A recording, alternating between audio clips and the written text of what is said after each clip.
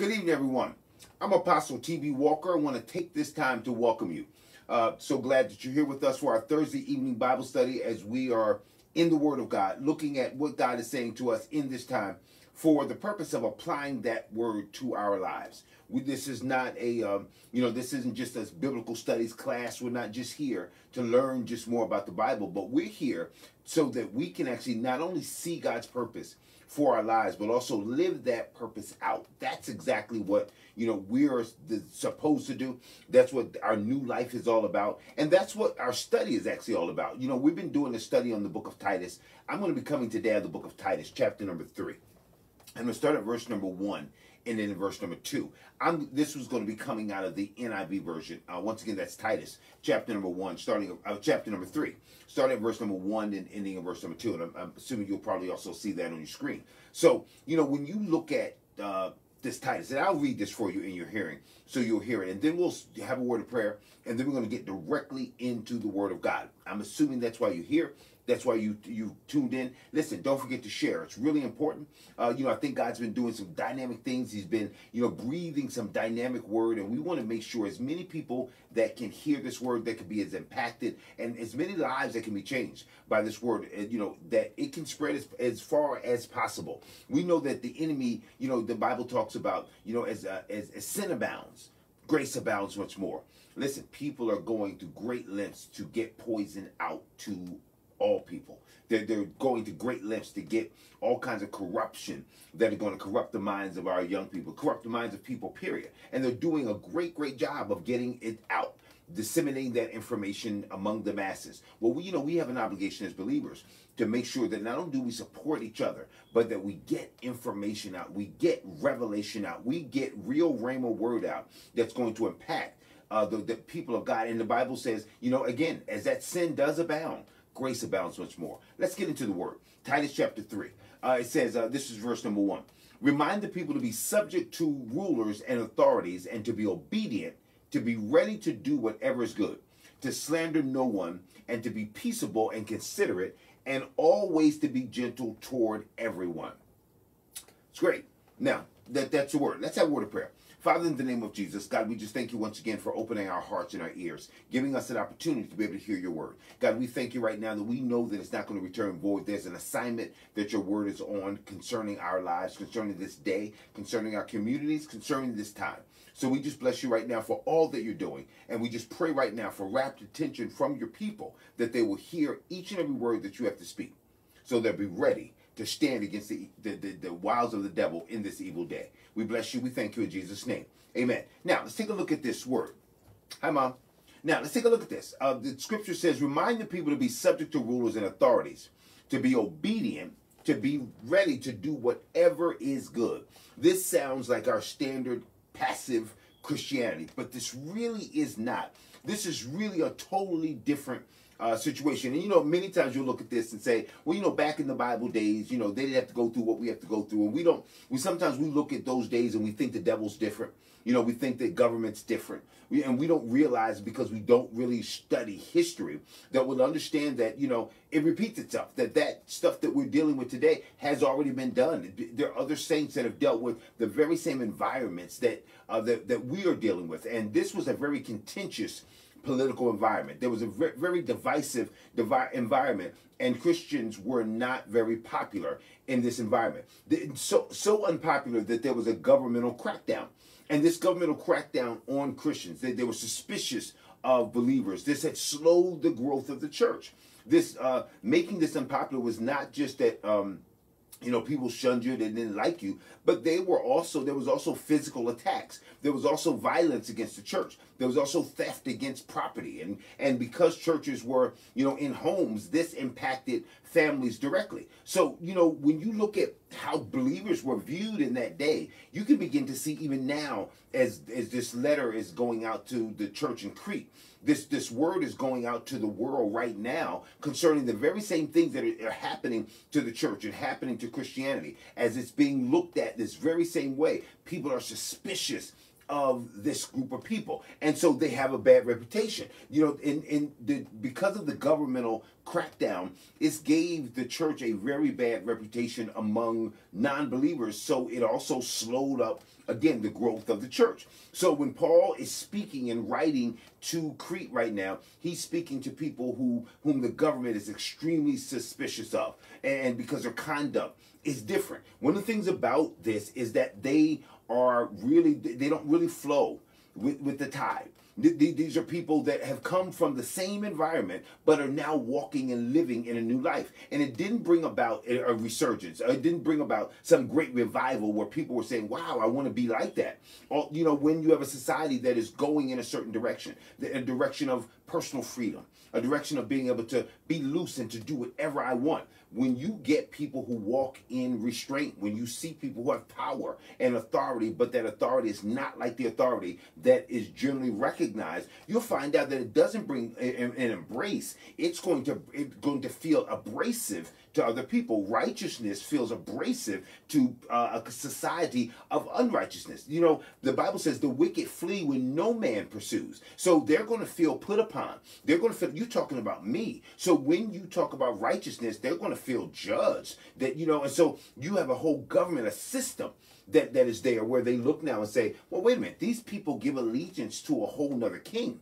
You know, they, they may submit to uh, you know our authority, but they give allegiance to another king. They worship not in the same places we worship. They don't, they're not at that temple. These people are in their homes, and they don't support pagan worship. They're nothing like us. So the culture looked for any vice. The culture had its eyes out. It had binoculars on, looking at the church, looking for anything that they could assign blame to. Listen, we're in that place right now. Cameras are up. People are watching everybody's recording and they're looking for something to blame in the people of God. There's a, a, whole band of people that have gathered together and now are just waiting to be able to say, I told you. They're nothing like they thought. All that judgment, all that stuff they said, all that I'm supposed to be set apart and different and, you know, a new creature in Christ. I told you that's them fighting. I told you that's them at the same place that I'm going. They're looking for that. And the Jewish culture also had put the church under scrutiny. With all this going on, here's the the the, uh, the admonition and the instruction that he gives Titus. He says, "Listen, remind them to be subject to the rulers and the authorities that that that are there." He, you know, this the words that are, you know, this to be subject to is to put yourself under them. Listen, one of the things that Titus says uh, to the church, and this is so important, he says, remind them listen, every now and then, you know, you don't get new, fresh revelation, but you have to be reminded about some things because the push of culture can move the church in a direction that it is not even aware it's a, it's not even aware that it's going. You know, just like on a ship, you have to remind the helmsman to to you know they, they would say mind you know mind the helm, and what it means is watch the you know watch the direction of the ship. Why? Because it can drift without you knowing it. You know, if you just are looking in the wrong direction before you know it, not only are you you're steering a course that's not your course, you're steering a course that's given to you by the wave of culture because you haven't been watching your course. Minding the helm is not looking at your environment. Minding the helm is looking at the charts to be able to see what's the course that was charted to make sure you're constantly on point. Listen, we, we, the church is going through the very same reminder upheaval now. You you got to understand that when Titus is told to, to remind them that means that there's some things that they have probably forgotten, which means there's some things that they're probably doing that are a little bit off course. And when we're reminded, one of the things we have to do is understand that this is God's way of saying, get back on course. These are not new teachings. These are things that you obviously had if you're reminded. But you know, Paul is telling him, listen, I had given these foundational teachings. You know what's there. So these aren't new revelation. You don't need to run around and find another church, and you don't need to go to another seminar. What you need to do is be reminded of the foundation, reminded of what the real charge is in the first place. We've got so many things going on. We've got shootings that are going on. You know, I mean, listen, there's crazy gun legislation that should, you know, this should be easy, but it's, it's, it's extremely hard. You know, when you look at mental illness, violence. You've got all manner of things that are going to violence everywhere. You know, and what are we supposed to do with it? And you know what? Every now and then we can really, really get caught up in what's going on and we can forget our purpose. And sometimes God comes and says, mind the helm. Don't forget what your lane is. You are here for a reason. You know, I mean, it would just be like, you know, a teacher and a teacher's teaching and, you know, and policing in class. And before you know it, they can become a cop and, you know, and you, you they can forget you're not here to police. You don't have to police. That's what happened when we start putting guns. If we, you know, teachers should have guns. Well, guess what? They're going to need to mind the helm at some point because they're going to become little cops. So what God is saying, the church can get off of its course. It can forget its real purpose. It can feel like our purpose is to make our environment better. Our purpose is to make sure our children are safe. Our purpose is to make sure that our communities have the right leaders. But is that really why Christ died? Listen, the, the truth is, he knew that Christians would get engrossed in political controversy, right? And, and that controversy was by the enemy a distraction. We're in the world but we're not of the world. Now, I'm not saying that we don't get involved in politics at all. I'm not saying that we don't vote. I'm not saying that what goes on around us is not important because Paul is making the point. We are not just citizens of the kingdom, we're citizens of our community. But if we get involved in, and get distracted from what we're supposed to bring to the community, then the community doesn't gain by adding additional activists. The community misses the gospel evangelists that are supposed to be the, the, in, in, going out in the community and doing what? Making disciples. That's our Great Commission. We're not making Republicans. We're not making Democrats. That's that's not our job. Again, I'm not. We're not against Republicans and Democrats, but we can forget that God is like there are real, there are serious organisms out there that are political. There are serious organisms out there that are social, but there's one organism out there, one organism created by God that leads men from darkness to light. And wouldn't it be a shame that the darkness to light people leave the darkness to light business and go into the political business, leave the darkness to light business and go into the social business, leave the darkness to light business and go into the policing business. So Christians can still be involved in politics, but we always need to remember what's our real priority. And that's what was going on then that's what's going on now. We get distracted, you know, and you know, we, you can walk out and before you know it, you know, you, yeah, I'm Christian, but I'm, you know, I'm also Italian. Yeah, I'm Christian, but I'm also black. Yeah, I'm Christian, but I'm also white. And all of that can weave itself into some weird thing that stops being Christian. It stops being a believer. It makes us a black Christian. It makes us a white Christian. It makes us an Italian Christian, but it doesn't, somehow, all of a sudden, that begins to matter. And the reality is that God comes back and he brings the church back and says, what's your real purpose? Because if we understand our purpose, we actually are unifiers. That there is no male or female, Jew or Greek. That's that's our purpose, but that's not around centered around politics. It's centered around the pursuit that is first and foremost. We teach people how to pursue God. That's exactly what we do. And so, you know, th- this is a difficult teaching that Paul is giving to Timothy because they're in oppression. They're they're being oppressed. And so they are, you know, he says, now I want you to be subject to these authorities. And this has real serious meaning when you've been oppressed. This this really can seem even maybe you don't know what I'm going through. Well, you know what? The reality is that Paul recognized you're picking up the mindset of the oppressor. I want you to get that. You know, he, he's talking to Titus, and there's a bunch of rebels here. You know, I'm not putting up with that. He said, listen, I need you to understand that's not a Jesus mindset. The truth of the matter is that's the Roman mindset. The Roman mindset was overthrowing anything it didn't like. It was throwing into chaos anything it didn't like. It had an anti-authority mindset. It was the major authority, but it wasn't going to have another authority. There could be no authority over it. So if it didn't like the leadership that was there, they didn't have to follow it. So when you begin to think about that, and the Cretans were able to now justify it because, you know, God's my king. I don't have to follow the laws of the land. I follow God. Well, listen, when that church, when that when that attitude is adapted uh, into the church, you know what it does? It draws attention, but it draws negative attention. It draws away from the growth of the church. And you know what it does? It puts our attention on fallen leaders.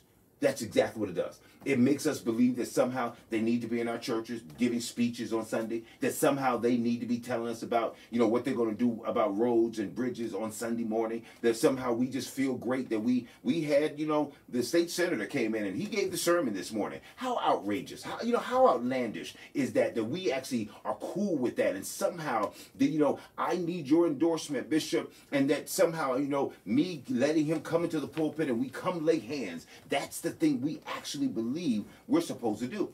Listen, this thinking, this mindset of being subject to, to the leaders that are in the church has a purpose. And these leaders are not in the church. This is subject to all authorities that are there. We have a duty to be honorable citizens. That's part of what the world is going to see. We have a duty to be exemplary citizens in our local communities as and, and obey even our national governments, even when we do not like them. Even bad government is better than no government. And we listen, we have to get that. God is not talking about like you have to like the direction that the government's going in. No, not at all. No way. And but and a regime can actually be ungodly and it may be unchristian. But the breakdown of government in and of itself is not something that we pray for. The Bible tells us that we ought to pray for government. So this is not like a pro government sentiment. It is really what happens in darkness. God is saying, I want you to shine. I, I, want you to shine. Then listen, when we look at the idea of like, well, let's get rid of all the police, let's defund the police. Do you know the world we would live in right now? This is not an endorsement of police policemen, but but this is also not a breakdown of, of police in total. The same way that we hate this idea of this blanket, all of them are like that. We can't do that with the police, but I can tell you right now, the Bible says that they do not hold the sword, they don't carry the sword in vain. The law is for the lawless. And if you do not believe it, look at the number of people. I, I think we have 40 shootings in Philadelphia this weekend. You know, I mean, I, I think that, that, you know, we don't look at them as mass shootings, right? So there, you know, there were over 40, 60, I think, in Chicago over the weekend. So when you begin to look at this, you sure that we don't need to pray for the government? You sure that we don't need to be subject? You sure that we need to be a part of the tide of chaos that's out there? There's absolutely no way. This would be purged 24 7. And we got to remember this God is the one who places rulers over us, not our vote. We somehow think, you know, I mean, listen, I'm going to control it in the ballot box. And that's cool. You know, and that's a cool thinking. And that's a good way of, you know, I mean, that's a peaceable way of doing it. But you know what? When we understand how this all works, the truth of the matter is, it's God, not our votes that put leaders in their places. It's the Lord who says that. So whether whether you like Trump or not, whether you like uh, Obama, whether you like Clinton, whether you like Putin, uh, you know, Chairman Ping, uh, Ping uh, Kim Jong Un, doesn't matter. The reality is, you may not like your your mayor, but each of them have been preordained by God, and the Lord says, listen, your your your attitude here concerning authority is being watched. He raises up leaders. He brings down leaders. And our purpose is not to try to bring down leaders. Our purpose is not to try to tear down institutions. You know what our purpose is to be? Christ-likeness. That's the job. That's the role. That's the primary role. Listen, if a government is ungodly, I am not saying that it does not need to come down. If there's a government that is, is, is oppressing people, I am not saying that government needs to stop. But I want you to understand what the priority for the believer is. It is Christ likeness, Christ likeness, regardless of what the situation is. So you got to understand that. That's even when we don't we don't this is not about agreement. When we look at the world, this is not about our agreement it's how we react. It's not about whether I agree with that law, but there are some laws that I may not like, but they do not in any way cause me to compromise. So guess what? I have to obey that law. I may not care. I may not care about whether I, do I need to wear a helmet if I, you know, I'm on a motorcycle. It's my motorcycle. Yeah, but here's the thing: we've got to obey the law. So Christians are, are supposed to submit to, to these laws. But guess what? We don't necessarily have to obey every single one. We're, we're instructed to pray for the government, but anything that, that, is, that is contrary, that violates the laws, that will cause us to compromise, no way. We, it's already told to us we defer to a higher law, but it must be a law that causes us to compromise the word of God. Remember, and as you begin to look at this, Jesus himself said, listen, render unto Caesar what is due Caesar but we also must render unto God what is due God. I suspect that as as Titus is being taught here, we may be in a situation where there were people who were rendering so much more to Caesar. We're thinking so much more about Caesar and forgot what they were supposed to do and, and rendering to God. You know, we are primarily governed by Christ. And it is Christ who said, listen, there are some things that, that, that Caesar is due you that you have to give him. And there's some governmental rules you may not like. But one of the things that makes us who we are is that there are things that we don't like all the time. But submission doesn't require liking it. You know, when we submit to authority, it doesn't mean like I like that. You know, they, you know, I can't go down that road. You know, I'm not supposed to park there. I don't like that. I've got to park all the way around the corner. But if I'm looking at myself as a citizen of the kingdom and my community, then I've got to obey the law. I've got to understand that Jesus himself never committed sin against Rome. So, you know, every one of us, when you begin to look at this, this is a spirit that comes from God. We have a duty here, and every leader here has a duty to remind people to be submissive to magistrates. Well, here's what Paul says. He says, I want you to be obedient.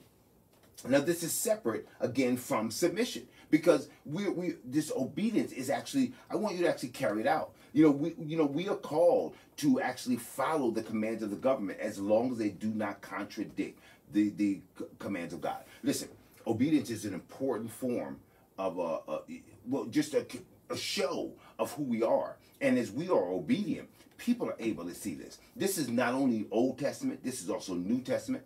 Though it's not a part of earning our salvation, our obedience is not connected to our salvation. Let me tell you what it's connected to.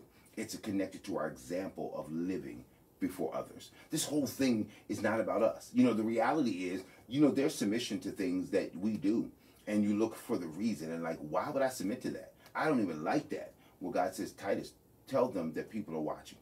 Let them know that in the midst of this persecution, the eyes are on you. In the midst of all that's going on, you know, in, in the world right now, people are looking for us. And even if they're looking for something to blame and looking for some way to bring us down, guess what? That's still looking. And when a person, you know, listen, we are supposed to refuse unjust laws, right? And we accept the punishment that comes with that. We, we're supposed to be submissive, but there's some things we can't be obedient to. I get that. We, there's some things that the Bible says well, you have to you have to obey God rather than man. Yes, I get that. There's some circumstances where it could be, you know, will violate the fundamental truths of the gospel. I get that. And that's why Paul tells Titus, let them know this, Titus, and this is important, to be ready to do whatever is good. Now, you know, you look at this, and I think that there is this um, view of Christianity that's really, really passive. I mean, there, I think there's a there's a level of weakness that, that many people have looked. And when you look at these scriptures, there's a like just do whatever you're supposed to do. Just be a good, you know, be be a good boy, be a good girl, right? That's what you know. Kind of sounds like that, a pat on the head type of situation. But I want you to understand what Titus is really, really exhorting and meant to exhort these leaders to do. Titus is telling them to, to infuse their uh, members with this understanding that this is not a simple, you know, kowtowing and bowing to the government, but it's to stand for that which is good. We are made, Ephesians chapter 2, verse 10 says that we are created in Christ in order to do good works, to do good deeds, that God planned for us in advance. That the truth of the matter is, wait a minute, God knew darkness was going to be there. God knew that the, the culture was going to be haywire. He knew it was going to be off the chain. And guess what?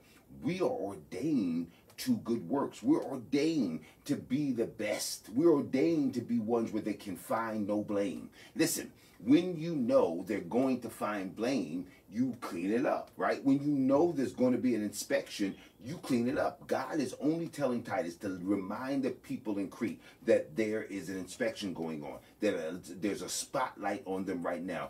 Don't let them find anything. You know, in the military, if you know there's going to be inspection, you want to make sure that everything is clean and, and you run your own hand across it. You make sure that there's no dust anywhere, especially since you know it's not a surprise inspection. It's one that's happening right now.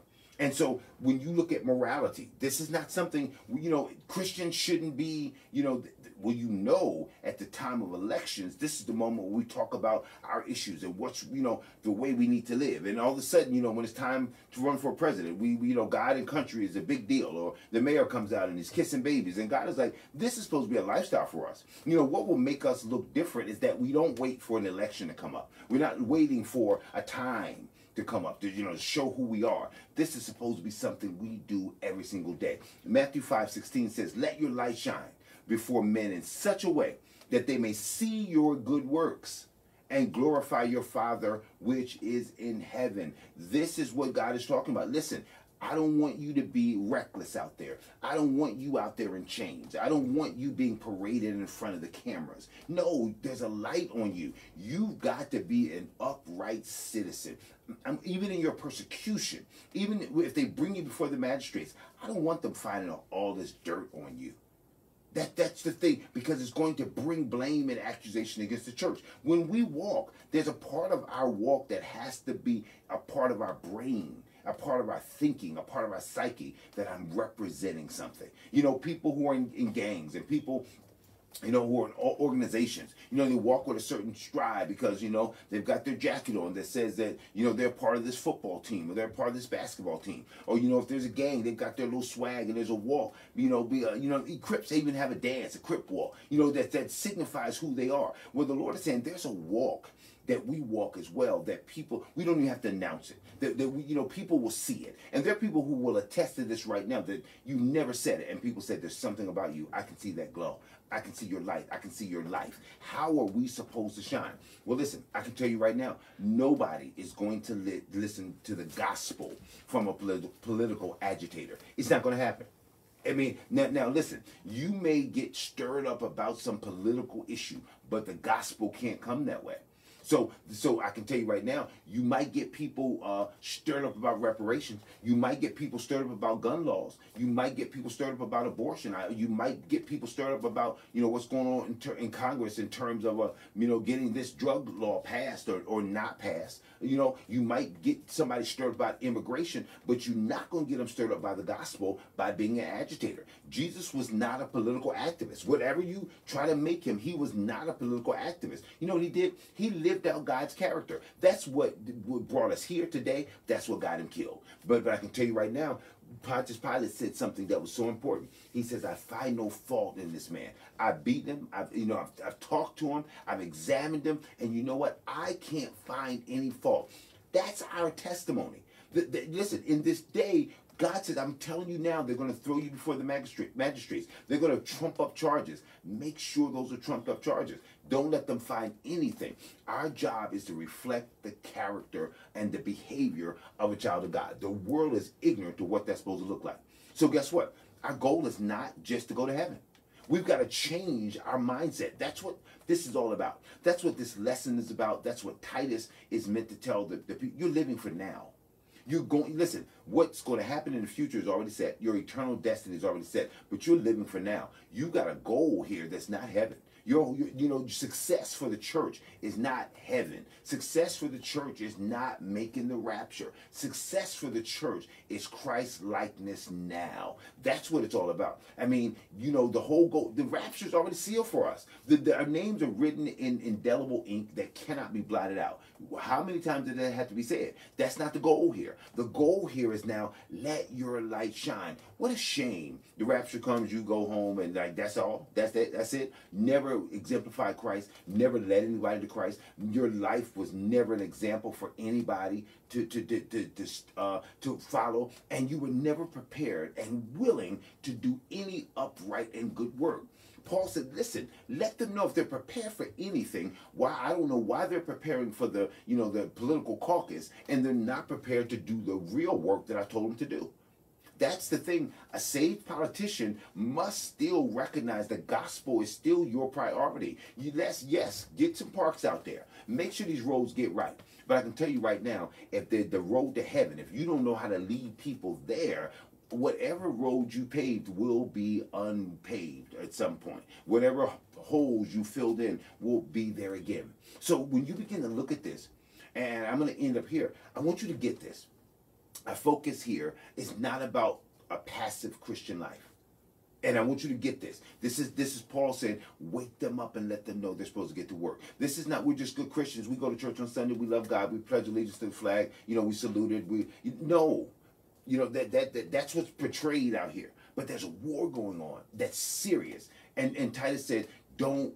Jesus comes to through Paul and says, tell Titus, don't let them fall into this passivity. Don't let them fall into this little weak, sheepish thinking. No, remind them to be ready to take a stand. Listen, I want you to understand something. This is impossible to do without God's grace. This is impossible for us to actually do without His mercy. It's impossible to do without His help, but it's what we're charged to do. And I want you to get this. This is not this. We're not rolling over and laying down because guess what? In a corrupt government, in a corrupt world, I can promise you right now that the government is not going to stay within its bounds. The government is not is going to eventually ask you and ask us all to do things that will compromise who we are. That will ask us to do things that will violate the truth of God. And guess what? Titus said, tell them this. Make sure they're ready to take a stand for a good work right? Let them know, be, let them be prepared to be able to stand for Christ where they are. He's not telling us to roll over. He's telling us be prepared to be able to stand, to be able to help somebody that the whole everybody else says you cannot touch them. You better not touch them. That's what Jesus did. He was able to stand and touch lepers that the rest of the world said, wait a minute, how can you call yourself a priest or, or teacher and you don't even know they're unclean? No, we've got to be ready to take a stand and to help the woman with the issue of blood, to be willing to talk to that woman, uh, you know, that, that, that woman at the well. Those are the very things that, that we've got to be ready and willing to do. The things that will come against the tide. That woman can't touch you. She, she, she's poisoned. You know, she's bleeding all over the place. I remember that's what I'm here to do. We've got to heal those broken hearts. We're here to love those people that are unlovable. So don't forget, you know, it isn't just our gun laws, because those are important.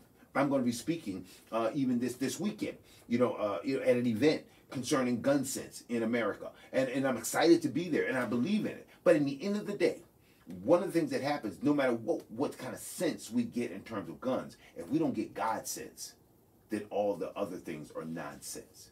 So listen, I want to leave that with you. I want you to recognize that this lesson from Titus is about is not about anti-politics. It's not about not being, you know, uh, you know, woke. It's not about like not knowing what's going on around you. But as a believer, as a Christian soldier, it's about reminding us what our priority is. You know, you get into a war and you stand in, in that war for a long time. You, we saw that in Vietnam. You saw we see that we saw that in Afghanistan. You stay there long enough, you can actually forget why you came. You know, you just you know. I'm, so what are you fighting for? I'm just fighting for the guy next to me. You know, and that sounds cool, but the truth is you knew when you left, you were fighting for a cause. You you remembered why you were there. What stirred you up to go down and, and put your name on the roll was some reason. What a shame to get there and to forget why we're even fighting and just I'm fighting for my church. I'm fighting for my denomination. You know, I'm fighting for my pastor. I'm fighting for my bishop. You know, I what you know, I'm fighting for in the name of Christianity. And you forget that you're leading you're supposed to lead people to Christ. You're supposed to be an example. You're supposed to be fighting against the tide of culture. You're supposed to not be conformed to this world, but to be transformed by the renewing of your mind. So listen, my hope is that you were blessed by the study today. I really hope that you grab this and you got this. And that's going to be my prayer that you really get this locked in because, you know, sin is abounding, you know, and, and the, the, the, the people are out there. But guess what? God is sending forth laborers because the harvest, the harvest he's looking for, he says is plentiful. Let's pray. Father, in the name of Jesus, God, we just thank you once again as we seal this Bible study. We just bless you right now for your people, for those that are on, those, those that are going to hear this at whatever time they get this. God, remind us again of our purpose. Remind us again that we're not to be just passive Christians and believers, that we need to be ready, willing, and able to perform the great works that you've called us to do. You promised that we would even do greater works than you did. And so, God, we thank you for every opportunity that you have given us to do those greater works. And we repent even now for those that our eyes have been shielded to. We were distracted by other things, angry about past things, things that are political, things that are cultural, things that are around us that we can't fix. But the, the, you've given us a great work. And we thank you even this night for reminding us, as you told Titus, remind them of who they are in Christ Jesus. God, we just thank you. In Jesus' name, Amen. Listen, I hope that this was a blessing to you, and I hope you have an awesome, awesome Thursday evening.